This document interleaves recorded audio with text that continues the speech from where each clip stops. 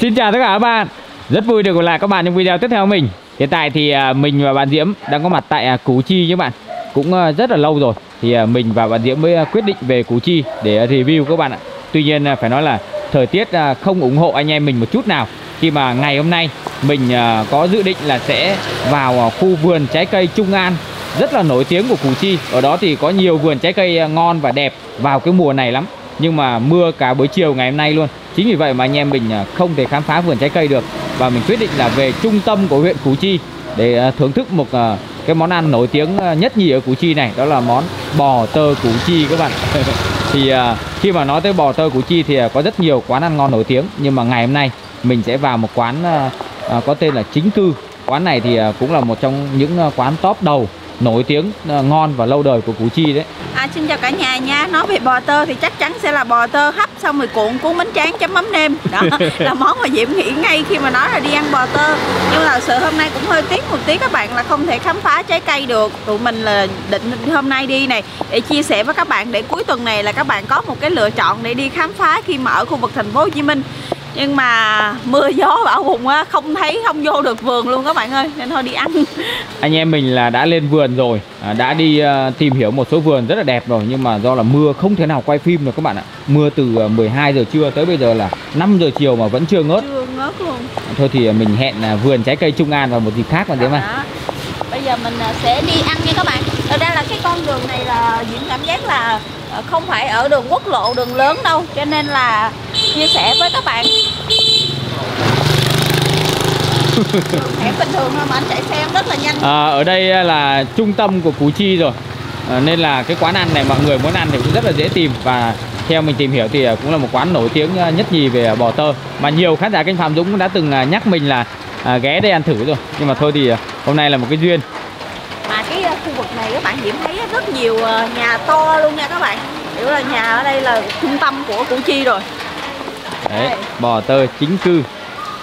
Số 2 Phạm Văn Trèo nha các bạn. Đường à, Phạm Văn Trèo này tổ 1 khu phố 7 thị trấn Củ Chi. Củ Chi bây giờ là huyện chứ chưa phải là quận. Bây giờ anh em mình à, sẽ đi vào bên trong quán nha. Mưa ngày ngày càng to hơn các bạn ạ. Quán có cây khế khá là cao các bạn. Cây khế này giống như là khế bonsai ấy. Đấy. Bò tơ chính cư các bạn nào mà lần đầu tiên tới à, Củ Chi thì à, cũng có thể ghé đây ăn thử. Mưa mà không ngớt luôn các bạn. Và vào trong này cảm giác là có cái mùi mùi nướng ấy, rất là thơm luôn. Bò tơ Củ Chi thì à, quá là nổi tiếng rồi nhưng mà à, thường thì mọi người ăn ở khu vực khác chứ không phải là lên tận Củ Chi để ăn. Ờ. Em chào cả nhà. Mời em Phát bọn du Pháp anh ơi món nào là ngon nhất đấy anh mọi người đang ăn món gì đây? Món nào cũng ngon hả mình là người dân Củ Chi hay là ở nơi khác tới đây anh Đi từ Sài Gòn sang đây đây. Từ Sài Gòn. Nhưng mà ăn ở đây bao giờ chưa? Sài Gòn, Hà Nội, Biên Hòa, Quảng Ninh, Vũng à Tàu chung nam vậy là một nhóm bạn luôn. Nhưng mà tại sao mọi người lại biết quán này? Google Maps. Google Maps. Nhưng mà mọi người hôm nay ăn là có thấy hài lòng không? Ăn lần đầu á. Ngon á ngon đúng không cảm ơn cả nhà nhiều nhưng mà chỉ thấy uống ờ, coca thôi không thấy uống bia luôn và bạn này đúng là đàn ông gương mẫu này chỉ uống coca thôi. Không phải mới mới, mới lấy ngót ở đây. Có à. Ờ, Ờ, không quán gian nổi tiếng nhưng mà bên trong ờ, không gian quán là rộng nhưng mà cũng dân dã mà dễ mà rồi kiểu đơn giản. Ơi. Ồ, ở đây là có cái ờ, tủ ờ, trao rồi mắm này. Em chào chị nha. Chào cả nhà có một cái hũ Ôi, gì đặc sản. cái này đi nướng hả? Dạ cái này đồ ăn của nhân viên anh ơi. Đồ ăn của nhân viên á? Dạ. Em chào chị ạ chào ở đây là mình có bán bò viên mang về hả chị? Cho em xem cái bịch bò viên đó được không? Bò viên nhà làm mà 100% thịt nguyên chất nha. 150 ngàn một bịch. À nếu được họ mình sẽ mua về để cửa hàng đấy. Mấy anh em có ai nấu mì hay là à là cái này đây ha Cái gói này là 150 ngàn hả chị? Ký, ký là bao nhiêu?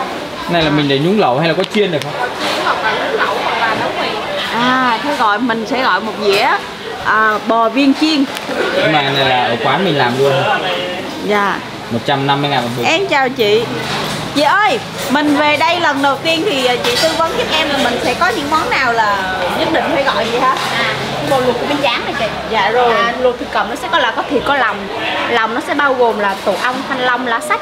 À, à, dĩa à, đặc biệt luôn là 200 ngàn ạ. À, nó có nhiều giá nó này. có nhiều giá lắm. Dạ. quán nhà mình là mở được bao lâu rồi chị? 20 năm. 20 năm rồi anh. Chính cư là là tên ờ, chú chủ quán à? Dạ vâng. Có nhiều món các bạn nhưng mà mình thấy là giá là khoảng 200 ngàn. Có cái ờ, món nào mà nhiều hơn 200 không? có có nhiều giá có À. hai trăm rưỡi ba trăm đó là tùy mình đi bao nhiêu người mình sẽ chọn theo phần giá Ừ. Thế à, để à, sẵn à, chị à, à, tờ- ghi món giùm em luôn nha. thế mình lại bán rồi à, em order cho mình Dạ. Luôn á. Chị hình như là em bé mấy tháng rồi ạ? à sáu tháng. bầu 6 tháng rồi nhưng mà vẫn ờ, vẫn đang còn làm tính là tới tháng thứ mấy mới nghỉ chị dạ chừng nào mình không làm nổi thì mình nhưng mà bé này là bé thứ mấy rồi dạ đầu tiên anh. Bé đầu. Dạ. em đoán nha là bé gái à? Bé trai. Bé trai. Đây, à, hồi nãy chị à, cho tư vấn em là cái mẹt à, lòng của bánh tráng đó là cho em à, một phần nha, một phần đặc biệt ạ. dạ rồi. Lấy bốn người thì mình lấy à, phần trăm rưỡi ha mình ăn nhiều món. Dạ rồi. dạ rồi. À, xong rồi à, à, bò hấp cuốn bánh tráng này. đúng rồi bò hấp của bánh tráng là cái này. Dạ. còn đây bò tới bò nướng của bánh tráng à, bò nướng này. Bò nướng của bò nướng là vừa nạc vừa mỡ. Nó sẽ béo béo Dạ rồi. còn à, chị muốn nạc không sẽ có thăng Cho em vừa nạc vừa mỡ đi. vừa nạc vừa mỡ dạ rồi? Đấy. Rồi bạn thấy bạn giá rất à, là đây hay là mình lấy hai thứ chung ha. Dạ. giá rất là hợp lý ha. Đây này có sườn nướng tảng này nha các bạn Rồi thăn gu rìa. Ở đây là bò hấp à, mắm xả này. À, Bên này là nhúng mẻ này Mắm ruốc, lá giang này. Hoặc là món à, á, Phải gọi cái lẩu củ mì này.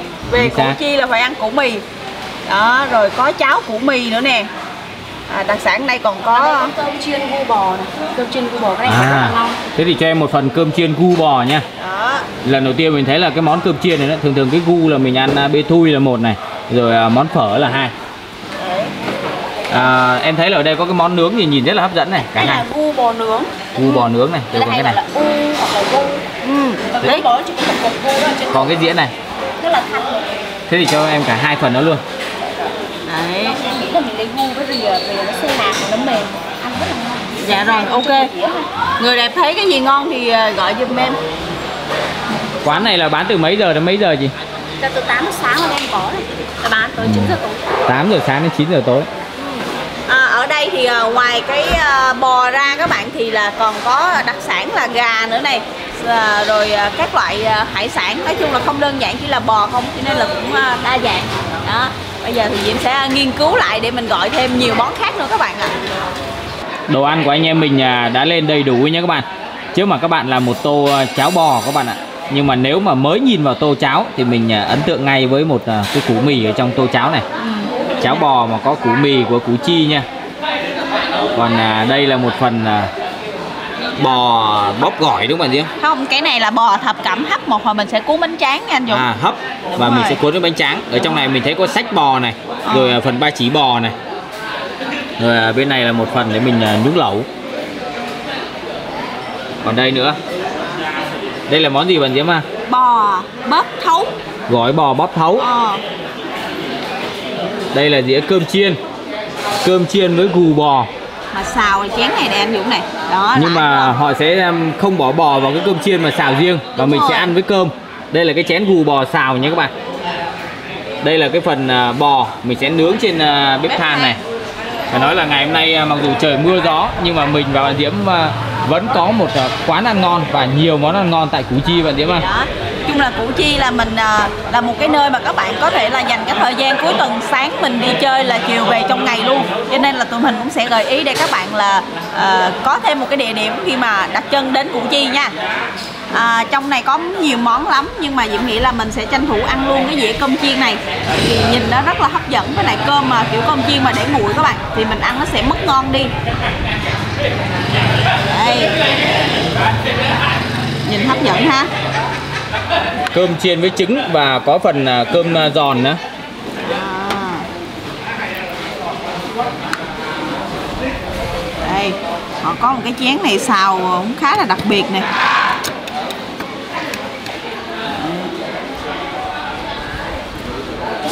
Thơm quá.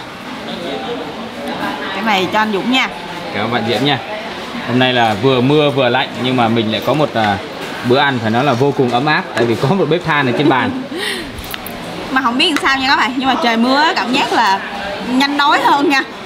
Bụng mình là nãy giờ là sôi liên tục luôn. Cái này nha các bạn thật ra là mình gọi cơm chiên chứ mà Diễm nghĩ là gọi cái phần này mà ăn với cơm trắng á thì cũng rất là ngon. Đây này. bạn nhìn. Này lần đầu tiên mình à, nghe tới món à, gù bò xào với cơm chiên đấy ban đầu mình còn tưởng đâu là người ta cho vào vào cái phần cơm chiên luôn á. Đấy. Hút nước miếng. Mời cả nhà nha. Ừm. anh Dũng thấy cực kỳ bất ngờ luôn. Xào với lại ruốc mắm ruốc. Bò nhưng mà lại xào với mắm ruốc. Đúng rồi nên là nó À. hơi mặn mặn. Cái này mà ăn với cơm trắng là hết bài luôn lần đầu tiên ăn cái này luôn các bạn. Nhưng để mà mình ngon. thử nha. Ừ. đây mời các bạn nha. Cái à, muỗng này thực ra là hơi khó để xúc Đúng đặc rồi. biệt là xúc bằng một tay nữa. Rất là dày. Nó hơi dày cái muỗng. Nhưng mà đói bụng ăn này ngon đấy đậm đà ha phải nói là vô cùng ngon. Cái ngon đầu tiên đó là cái đậm đà của mắm ruốc. Mắm ruốc mà xào lên thì ăn cái gì cũng ngon. Từ chấm dưa leo chấm xoài ăn với cơm ăn với bất kỳ cái gì cũng ngon các bạn. Mà đặc biệt ngày hôm nay là cái mắm ruốc nó lại còn được xào với gù bò nữa. Ăn nó dai thơm mùi thịt bò. Cái phần ờ, thịt này các bạn để các bạn yên tâm là mình ăn nó ờ, không có bị khô nha cũng không có bị cứng không bị dai. Mà ngon mà dễ mà. Ừ. mặn mặn này thêm miếng dưa leo nữa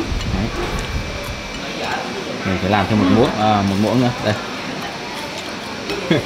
Hơi khó để xúc các bạn thực sự là cái muỗng này không ờ, phù hợp một chút nào. Ê, thôi mình ờ, quyết định từ bỏ. Ê, các bạn thấy cái muỗng này nó dày á. Nên là xúc không dính.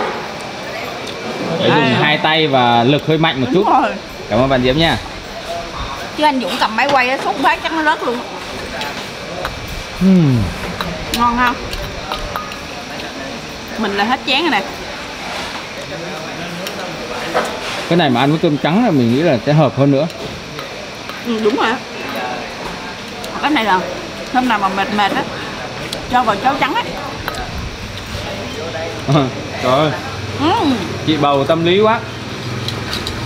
Sao mà chị nghe được là mình nói là cần cái muỗng kia là chị đổi muỗng cho mình ngay cái luôn. này là mới dễ múc nè. Đúng rồi. Nhưng mà các bạn ơi rồi đặc sản củ chi đó là khoai mì hấp chấm với lại muối mè. Nhưng mà cái này là nóng là vừa mới mang ra luôn nè. Ôi, ừ. cẩn thận nóng nha. À, tiết lộ với tất cả bạn là bạn diễm có nói mình á là cái hôm mà ăn à, lẩu bò mà có cái chân bò dựng bò khổng lồ ấy ừ. là bị bỏng miệng vì ăn nóng quá. Nên là mình vẫn luôn à, nhắc bạn diễm mỗi lần ăn món nóng là phải cẩn thận từ từ là vậy các bạn. À, có nghĩa là khi mà mình ăn thì mình cảm giác là nó hơi nóng nóng ngon ngon thôi ăn rất là đã thân về tự nhiên tới tới tối tự nhiên thôi thấy lưỡi nó kiểu hơi rát rát các bạn. Này. Đó. Mình sẽ tách tách ra về để cho nó. Ừm. khoai mì củ chi ấy thì à, có nhiều cách để hấp lắm. Có thể là hấp không này hoặc là hấp với nước cốt dừa này rồi thậm chí là còn cho cả cái dừa nạo lên nữa. Mời cả nhà nha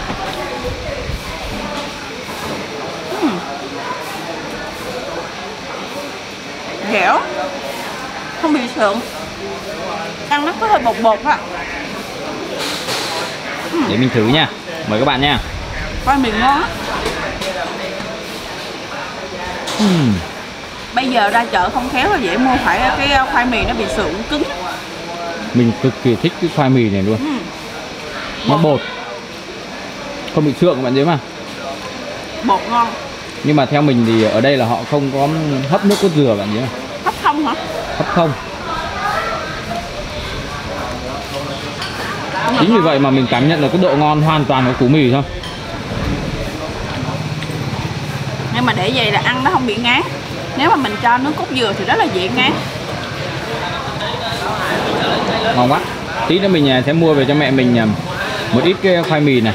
Ngon thật sự luôn nhưng mà thì em không dám ăn nhiều tại vì à, mình đang còn nhiều món á ngon để mình cất cho. Này anh Dũng cho bên kia giùm nha. Khoai mì ngon nha. Ăn mà nó cứ kiểu là quánh quánh quánh ở bên trong miệng luôn á bạn. Khoai mì này mà làm bánh là ngon lắm. Tại vì cái củ khoai đã ngon rồi. Cái này là ngon nha.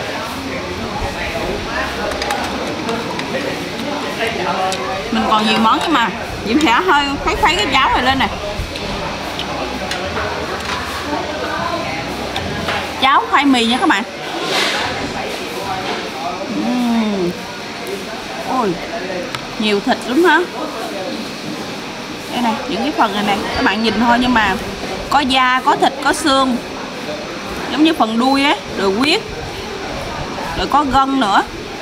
Và đặc biệt là có khoai mì.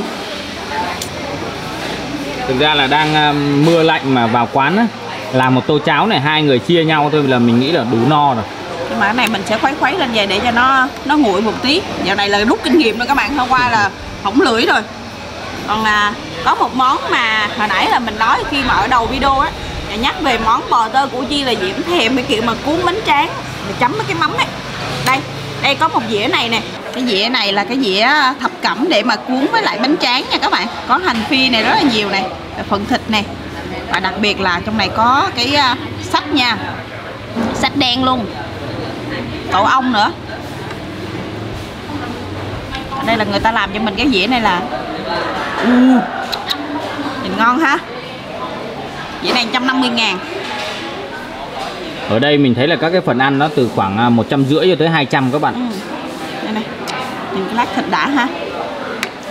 Nhưng mà làm miếng này à, chấm với lại à, mắm nêm luôn nha các bạn. Tại vì cái phần à, cái à, tổ ong này mà các bạn chấm mắm nêm là ăn không nó cũng đã ngon rồi chứ nói là chưa nói gì là cuốn bánh tráng nữa.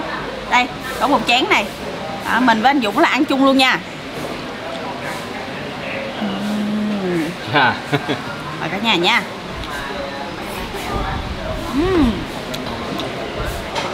Quá đã luôn. Ừm. Nhưng mà đây người ta luộc theo kiểu là do mình để cuốn bánh tráng mà dễ ăn á. Nên là người ta sẽ luộc hơi mềm một tí nha các bạn. Ừm. Ừm. hấp dẫn mà diễm à. Cái mắm này ngon. Bò hấp mà chấm mắm nêm thì à, còn gì tuyệt vời hơn. Nhưng mà nếu như à, quấn với bánh tráng và rau sống nữa thì à, sẽ là hoàn hảo các bạn. Đây, mình sẽ chấm đây. thử một miếng này. Mà hơi cay anh Dũng ạ mắm cay. Đây. Mời các bạn nha. Nó hơi loãng ha. Ừ. hơi loãng với lại hơi cay. Ừm. ngon quá. Mình cảm nhận là cái độ tươi. Ăn lại- giòn thơm.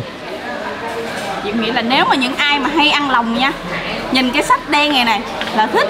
Chứ còn nhiều người mà nếu mà trắng đó là người ta không thích ăn. Ví dụ như anh Hải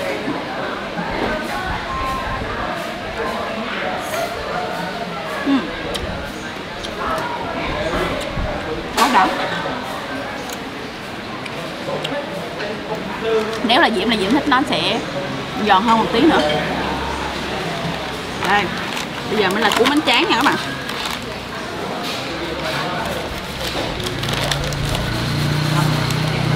Nhưng mà những cái món như thế này á Ăn trời mưa đúng là rất là hợp lý. Không đi được đi ờ, vườn rau nhưng mà vườn uh, trái cây. Nhưng mà ghé đây là ăn uh, bò cuốn với lại rau và bánh tráng. Ngày hôm nay ờ, mình lên xã Trung An huyện Củ Chi là một nơi mà có hàng chục cái nhà vườn à, chuyên à, dành cho khách du lịch tới trải nghiệm vườn trái cây ăn tại vườn các bạn. Cực kỳ nổi tiếng luôn.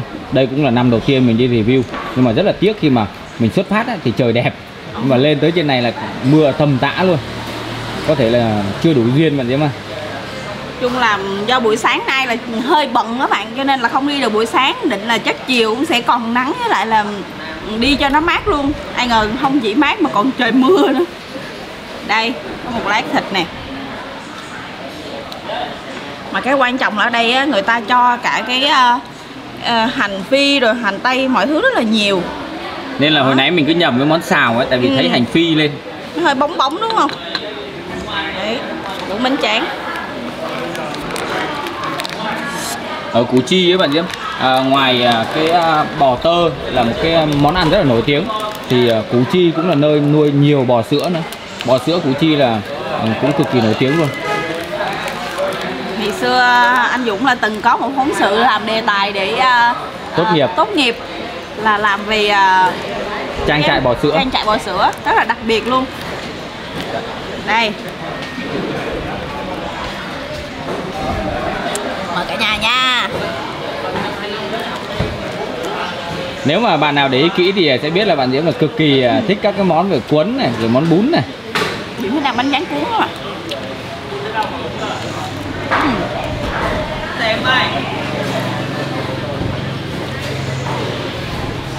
ngon cay thôi. Cái món này người ta làm mềm á. Thực ra chị nghĩ là có lý do á. Để mình cuốn bánh tráng này mình ăn rất là hài hòa mình nhai không bị khó với lại là cái um, cái hành phi này chắc là quán họ tự phi luôn á. Rất là thơm. Hồi nãy là à, các à, chị ở đây còn nói là có muốn à, xem cái quy trình làm bò viên hay không. Nhưng mà do anh em mình đồ ăn đã lên đầy bàn rồi nên là mình quyết định là thôi để dịp khác. Nếu có duyên thì mình sẽ tìm hiểu thêm. Nhưng mà nếu mà bò viên mà nhà làm thì lúc nào cũng cực kỳ chất lượng. Quán này cảm giác là khá là nổi tiếng trên um, mình search trên Google các bạn là ra liền và mọi người đánh giá rất là tốt. Nhưng mà tới đây có cảm giác là rất là dân dã bình dân nha. Mọi người đây là nhiệt tình lắm. Nhưng mà cái điều à, đặc biệt là nó làm cho mình cảm giác là ngồi ăn thoải mái không bị gò bó không bị ngột ngạt. Có thể là do hôm nay trời mưa mát nữa. Đây các bạn thấy là ăn ở bên ngoài bây giờ trời cũng có thui luôn. Vô. Vô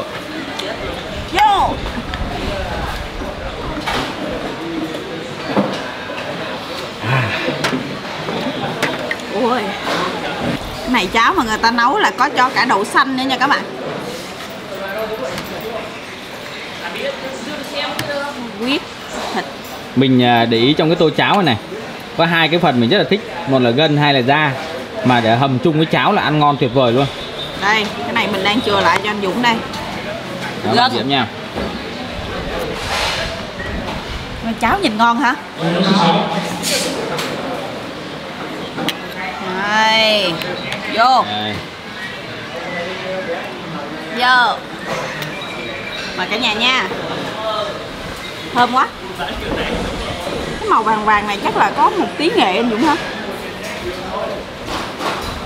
Ừm. mùi à, cái vị à, nghệ tươi và cái cái độ thơm của cái đậu xanh ấy. Hồi nãy là à, trong cái chén cháo là mình đã để ý là có một vài cái lát củ nghệ tươi rồi. Đây. Đây này trời mưa này làm vậy là ấm luôn các bạn ạ.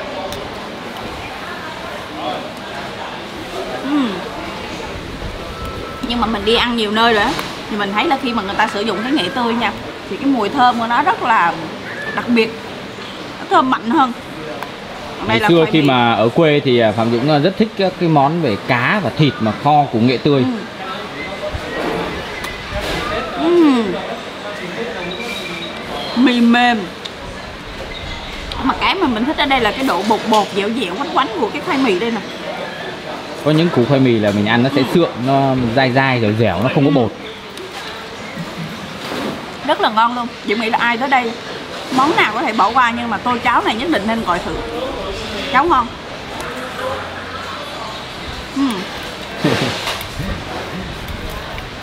Có bị nóng mà nhé hơi hơi thôi. Diệu nghĩ là anh Dũng thử mì luôn là được á nó không nãy giờ mình để nó cũng nguội bớt rồi. Mình à, thử một muỗng nha. Ngày hôm nay à, thực sự là mình cũng đói nên là bạn diễm à, các bạn thấy là bạn diễm kêu mình ăn liên tục á. Lẽ ra là cứ nghĩ là sẽ được ăn một đại tiệc trái cây tại vườn đúng không bạn diễm? Nhưng mà không ngờ là mưa luôn. mưa. Mình sẽ thử một chút cháo này. Mời các bạn nha. Ừm, Ừm, cái mì ngon quá. Cháo ngon quá. Tô cháo không biết bao nhiêu tiền ha. Khoảng một trăm đến một trăm rưỡi là ôi cháo miếng bò này béo thơm. Mà đúng như bạn diễm nói là thơm cái mùi nghệ ấy. mình thích cái khoai mì quá. Ừm. ở đây á mì họ nấu á là chín mềm nhưng mà nó không bị ờ, không bị quá đục. Để mình khi mà mình vẫn để để mình nhai này mình cảm nhận được cái hương vị của khoai mì thực sự là tới bây giờ là món cơm chiên cũng ngon này ừ, rồi món cháo cũng ngon này rồi cái món um, hấp cuốn bánh tráng cũng ngon luôn. Đúng rồi. Nhưng mà chỉ cái này là à, mình vẫn đánh giá là ngon nha các bạn. Ngon nhưng mà nếu mà chỉ đơn giản là mình chấm cái lòng không để chấm với mắm nêm thôi thì nó sẽ hơi mềm một tí thôi. Còn mình cuốn bánh tráng thì nó lại rất hợp lý.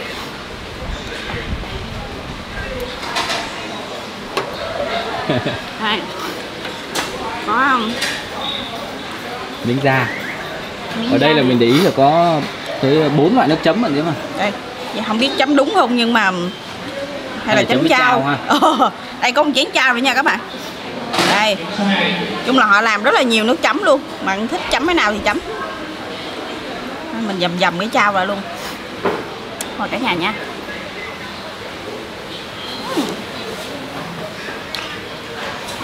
Tuyệt vời luôn Nên là bạn Diễm có ờ, để ý là đây là quán bò tơ ờ, thứ ba mà mình ăn ở Củ Chi luôn nha. Ừm. à, thì mỗi quán lại có một cái hương vị ờ, cái cách làm nó khác nhau và đều là quán ngon quán nổi tiếng cả. Kể cả mình có ăn hai quán vào hai ngày khác nhau thì nó vẫn không bị trùng cái hương vị các bạn. Mình vẫn đánh giá là quán này là chất lượng là bình dân nha. Hầm mềm không quá đục. Cái này cái miếng này có da và thịt. Ai nói gì nói nhưng mà chấm chao ngon nha các bạn đây gân này. chấm chấm thêm tí chao nguyên chất này cũng ngon.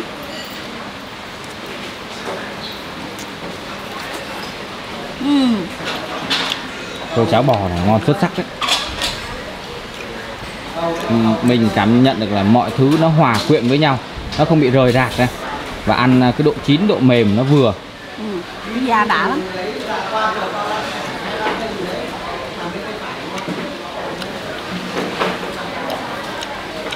ngon ngon. Mình xem là trong cái tô cháo của mình là còn cái à, nguyên liệu nào nữa không? Còn cái gân đây cái gân á, chưa cần ăn. Mình à, nhìn thôi là mình cũng cảm nhận được cái độ mềm rồi. Hơi khó để múc một chút. Cái miếng gân hơi to. Mời các bạn nha. mình sẽ cho anh dùng cái miếng này một hồi anh Dũng chấm á ăn á không ngon lấy tiền luôn này Miếng này này. trời ơi xuất sắc đúng không? Thực sự á. Nếu như mà ai đó mà tới đây xin công thức của một cái món cháo bò thôi Về mà nấu thành công đúng theo cái hương vị này chỉ bán đúng một món cháo bò thôi thì cũng là giàu to. À, ở đây cháo này không chỉ có cái phần xương ờ, thịt hồi nãy nha các bạn mà cái này hình như nếu Diễm không nhầm là súng bò. Hơi giống cái phần đúng không? Đây này. Trong này là có súng bò hả? Trong tô cháo này à, À. cháo đại bổ. Cổng là nó sẽ có đầy đủ. À. Ồ. Là có đuôi gân rực rồi biếm là mỗi thứ đều có. Nhưng mà tô này là bao nhiêu tiền hả chị? Đã tô này 100 một trăm. Ngàn. Ồ, không Giá có hợp lý. không gọi luôn các bạn ơi. Không 100 ngàn là mình mình gọi là rẻ. À, nếu như hai người nhé vào đây chỉ cần gọi đúng một tô cháo này chia đôi ra ăn no và đủ dinh dưỡng là mình đi về luôn. Có 100 ngàn thôi mình thì không ăn được cái này nha các bạn. Nhưng mà nhìn cũng rất là hấp dẫn. Cái này để cho anh uh, cameraman của bạn Diễm nha. Đấy. Diễm chỉ làm miếng ờ, miếng gân này thôi. Tô cháo ngon quá. Cháo thật sự ngon ha. Hồi nãy ban đầu là gì? Diễm đã gọi ờ, ờ, lẩu hay mì này xong mình gọi còn nhúng nữa. Cho nên là Diễm định là không gọi cháo nhưng mà nếu không gọi cháo này là sai lầm.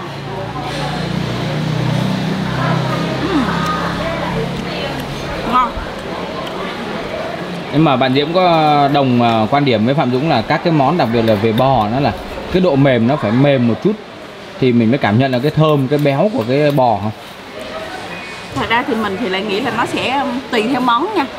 Ví dụ như là cháo hay lẩu là mình sẽ thích nó mềm tơi ra, nhưng mà những món mà cần hấp hay là cần um, mình phải nhai ấy thì mình vẫn thích nó kiểu là nó chín, vẫn còn cái độ giòn giòn tí chung là ẩm thực là mình thấy người mỗi người một cái khẩu vị mà không ai giống ai. Bên này á là món ờ, gỏi giống như gỏi các bạn. Để mình ờ, để lại gần một chút cho bạn Diễm ờ, dễ gắp này. Đây cho cái cháo này qua bên này nha. Đó. Đây này các bạn nhìn thấy hấp dẫn chưa? Nếu mà nhậu với bia thì một đĩa này là hai ba người nhậu luôn có khế này, có chuối chát này, hành phi này, rau răm này. Và những cái lát thịt là được cắt rất là to nha. Đó. Đi, mình xúc vào cái bánh phồng tôm đi.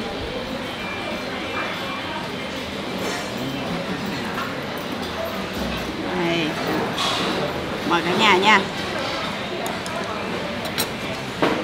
Xem hương vị thế nào đây có lát uh, chuối chát trong này nè.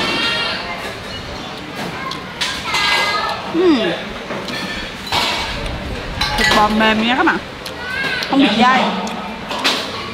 Chua chua ngọt ngọt.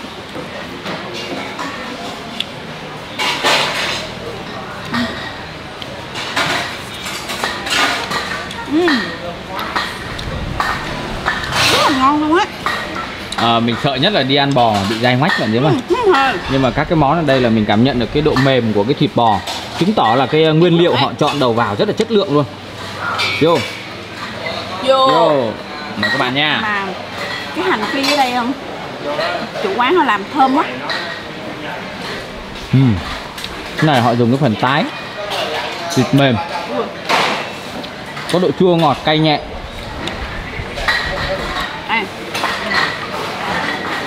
Miếng bò nha miếng khế này miếng chuối chát này tí hành phi hành phi đây rất thơm rất ngon luôn. Đấy. Tí đậu phộng này này còn có đậu phộng trên này nữa nha. Mời cả nhà nha.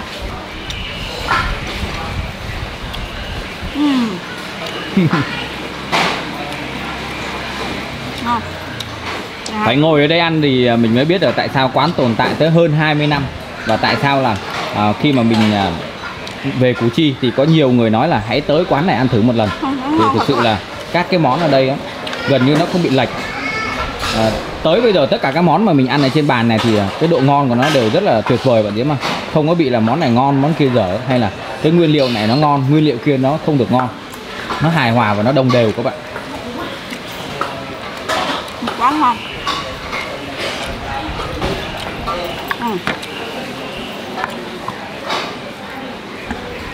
bạn coi thịt này. Cái lát thịt này. Ngon tươi thịt ngon. À, bây giờ mình sẽ ăn món đó là nhúng mẻ nha các bạn. Bò nhúng mẻ. Nhìn cái à, nước nhúng mẻ là mình cảm nhận được cái độ sệt sệt bạn biết mà. Nhìn hấp dẫn ha. Chờ nó sôi thì mình mới nhúng được. Đây này bên này là một cái dĩa nhúng mẻ này này nãy chị nói là bắp này rồi à, cuốn tim này xong rồi vẫn có súng này xong rồi phần gu bò này xong rồi sách này. Đấy. Mà trong thời gian à, chờ nước sôi là mình sẽ đi à, nướng các bạn ạ. Nướng bò. Ở đây thì các bạn sẽ có thể lựa chọn một là mình sẽ nhờ quán người ta nướng giùm mình luôn. Còn hai với cái thời tiết mà mưa gió thế này thì Diễm nghĩ là nướng tại bàn ăn nó sẽ ngon hơn. Nên là mình à, lấy một cái bếp để đây. Hơi tốn thời gian một chút nhưng mà nướng tại bàn thì à, mình sẽ nướng theo cái độ chín mà mình yêu thích. Vừa nướng vừa trải nghiệm. Nhưng mà cái phần này nè anh Dũng này nó sẽ có hơi à, mỡ mỡ thì sẽ rất là ngon luôn nè. Cái này là gu nè. Đó cho lên đây nha. Ủa này gì vậy? đó. nhìn miếng bò là có những cái đường mà gân mỡ bạn biết mà Ừ. mình à, nướng từ từ thôi không cần nhiều quá đâu nó cháy mất. Đấy. nhìn cái cục à, thịt bò cắt vuông như là mình à, ăn à, lúc lắc ấy, nhưng mà nó to hơn một chút. Đặc biệt là cái miếng bò rất là tươi. Thơm quá ha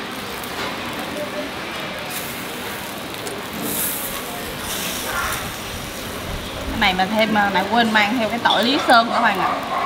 Bò mà đồ những món nướng á các bạn kèm tỏi á ăn rất là ngon luôn.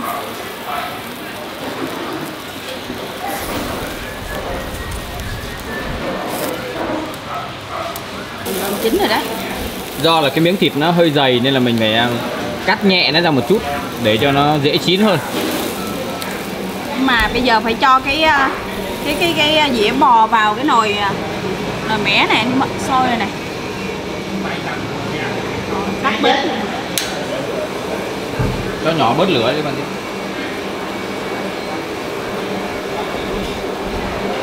Đấy. cái này mình kiểu là cho liu riu liu riu á các bạn. Các bạn coi dĩa này hấp dẫn chưa? Đó. Rồi cái rau của trước nha.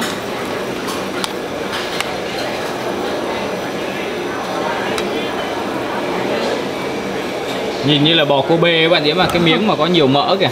Diễm thích ăn nhất là cái này nè các bạn này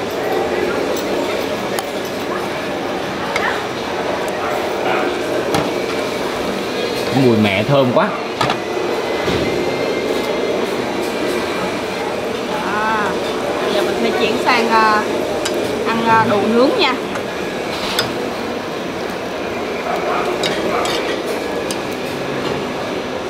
Các em xin một đôi đũa với nha. Đây, cái này là bây giờ chín rồi này. Thơm quá. Ơn ạ lá sách này á là vừa chuẩn bị ăn liền để nó không có bị tai nó trong bò À. còn tim á thì mình phải để lâu một chút Thì nó mới chín đúng không chị? đúng rồi vì càng lâu thì nó càng Nồi này nãy của em là trăm rưỡi đúng không? đúng rồi Đấy các bạn thấy không?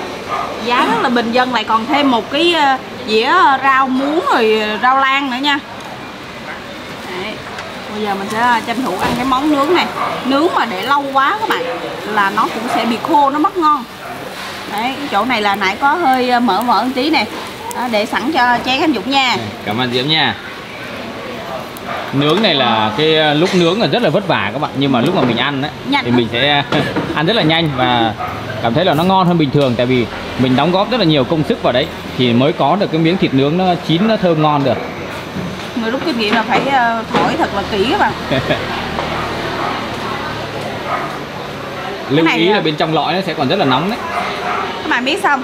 cái món này nè nếu mà mình đi mà gọi là đông người ấy, hoặc là cái thời tiết nó nắng nóng thì Diễm nghĩ là mình nhờ nhờ quán họ nướng cho. Thì họ nướng thì rất là vừa cái độ mình ăn luôn. Bên kia là mình thấy họ có một cái bếp nướng rất là lớn và từ xa như này là mình cảm nhận được cái sạch bóng của nó luôn.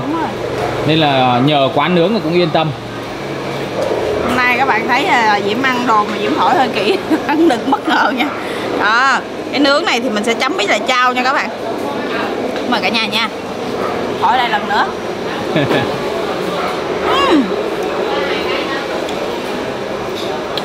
Ôi,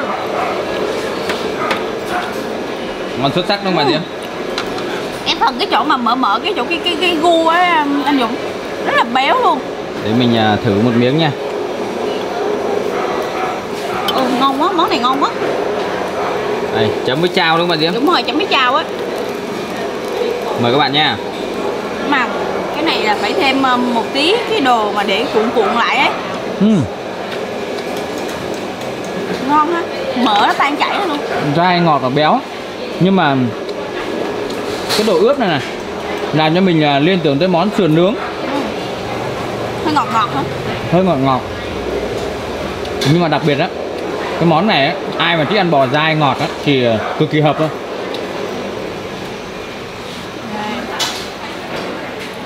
uống bia mà gặp cái món này là hoàn hảo luôn.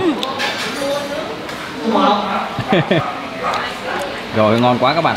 Ngon mình phải hả? thử ngay thêm một miếng nữa thôi. Ngon quá. Đây. Dai ngọt. Nó sẽ tùy miếng nha. Cái chỗ mà có mỡ mỡ thì nó sẽ sẽ mềm hơn.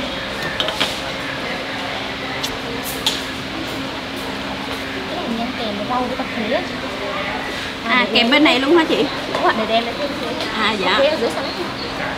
Kẹp với rau như là thịt nướng bình thường á. Nhưng mà nãy giờ mình ăn thịt không à?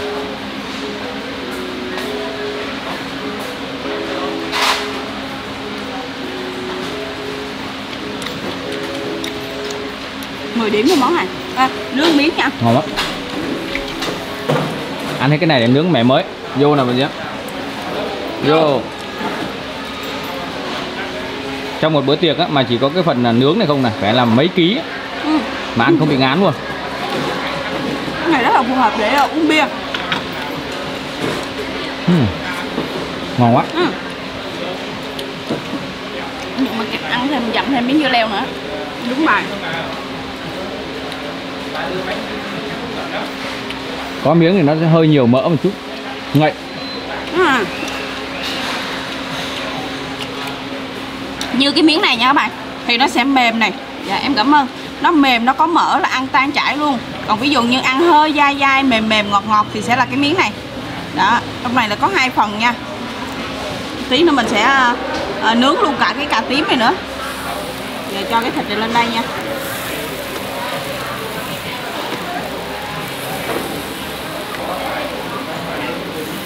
Này à, Diễm thấy người ta ướp cũng khá là đơn giản. À, nước mắm này ớt tỏi này mình nghĩ chắc có thể là có một thêm một tí đường.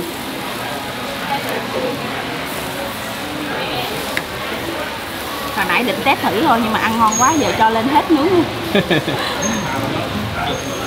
À, chưa cần ăn đâu mình nghĩ là các bạn nhìn vào cái độ tươi ngon của cái à, miếng bò thôi là đã cảm nhận được là nó hoàn hảo rồi.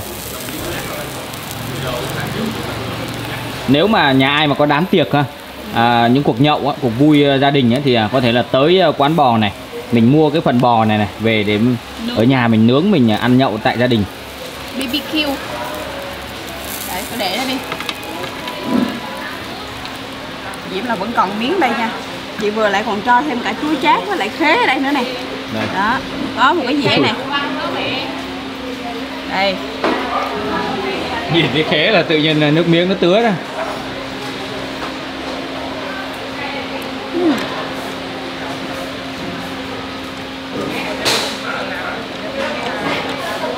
món này ngon quá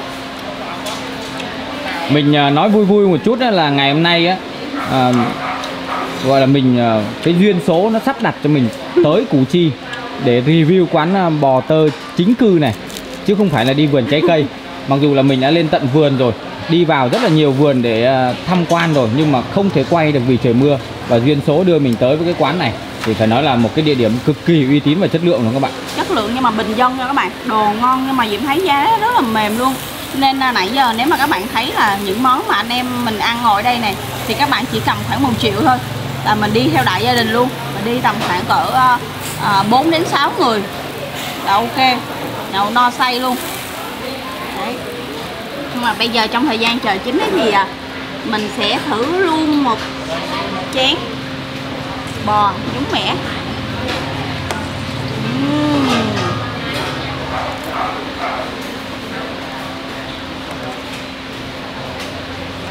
Trời ơi, anh Dũng coi này cái lát này. Chắc là phải cho mình xin thêm một chén đi. Nhậu đã đời rồi à, ngà ngà say rồi. Mà làm một cái à, chén à, nước mẻ này thêm một vài lát bò nữa.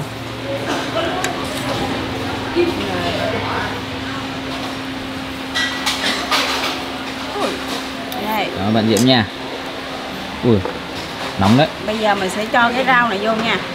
Ở đây là họ dùng à, cái chén hai lớp nên là cũng ờ, đỡ nóng hơn bình thường. Đó, rau lan và rau muống.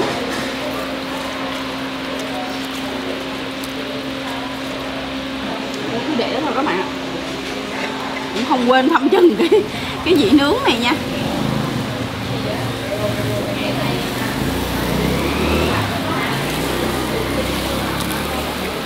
Mình cũng không muốn khen quá đâu các bạn nhưng mà quán này họ làm đồ ăn ngon quá.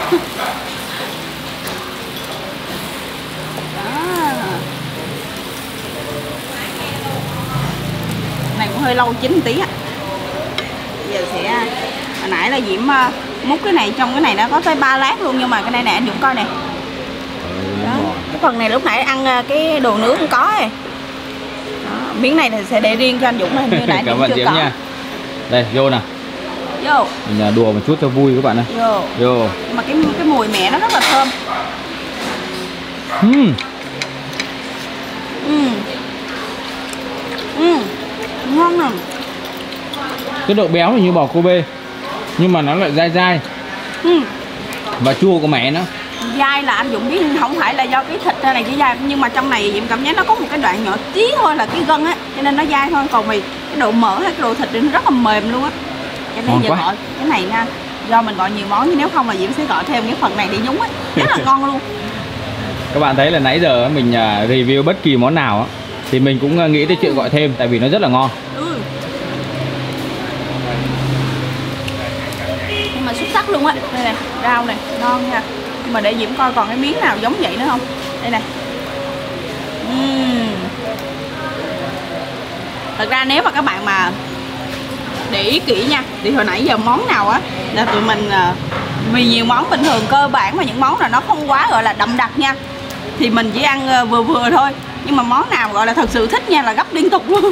Các bạn thấy hồi nãy giờ trên bàn ăn á món nào á cũng gọi là chiến đấu tới cô cuối cùng hết Ờ, nó có nhiều nguyên nhân để à, là ngày hôm nay mà anh em mình thích thú và cảm thấy ngon miệng như vậy. Thứ nhất là đói này thứ hai là mưa à, mưa này và thứ ba nữa là à, khi mà mình đi lên vườn trái cây mà mình à, không quay được mình phải đi về ấy, thì mình cứ nghĩ là ngày hôm nay là chắc là không có clip để à, tải lên mà 6 giờ sáng để khán giả kênh Phạm Dũng xem giải trí rồi. Thì thực sự đó là cái cảm giác rất là buồn đó nhưng mà khi mà mình mới nhớ ra rằng ở Củ Chi còn những quán bò tơ ngon mà mọi người đã gợi ý thì mình mới tìm hiểu lại thì mới nhớ ra cái quán này và tới.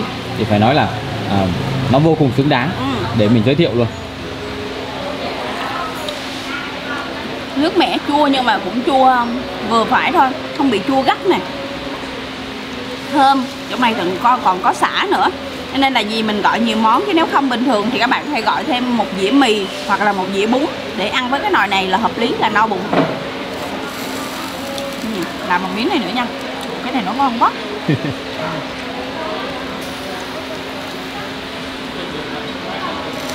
Ừ.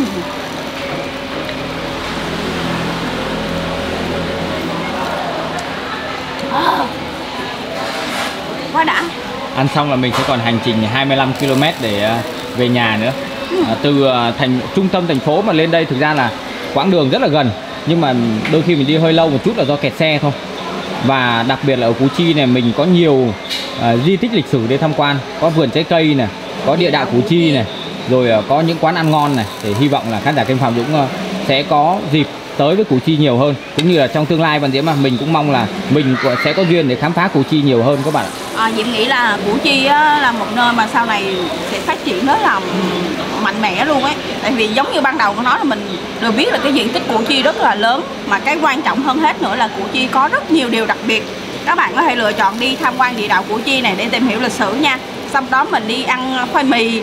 Nhưng mà cái quan trọng hơn hết là ở Củ Chi có rất nhiều nhà hàng ngon này và cả vườn trái cây nữa. Mà các bạn nếu mà không có thời gian để đi về miền Tây thì các bạn có thể dành một ngày thôi để khám phá Củ Chi à, đặc biệt là các gia đình mà có các bé nhỏ các bạn Trước khi uh, kết thúc clip thì uh, mình phải chân thành uh, cảm ơn khán giả kênh Phạm Dũng đã luôn yêu thương và theo dõi kênh Phạm Dũng vào 6 giờ sáng mỗi ngày. Và nếu như mà các bạn yêu quý bạn Diễm mua hàng thì trước khi chốt đơn chuyển tiền thì gọi đúng vào số điện thoại của Phan Diễm nha các bạn.